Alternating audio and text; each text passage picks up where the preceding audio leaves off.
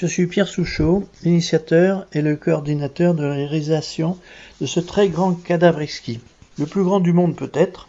C'est euh, une œuvre collective réalisée par les 80 artistes exposants dans ce salon, dans le cadre donc du salon du dessin Lyon Art Pepper.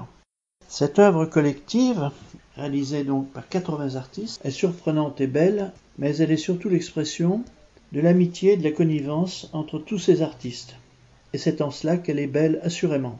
On espère qu'elle pourra être achetée par telle institution ou tel mécène au prix de 10 000 euros et au profit de la SLBA, Société lyonnaise des beaux-arts, organisatrice de ce salon d'une qualité exceptionnelle avec des artistes de haut niveau, de très bons dessinateurs, un salon qui a attiré un très grand public, très satisfait de voir autant de choses merveilleuses et de voir ce plus grand cadre du monde, sans doute.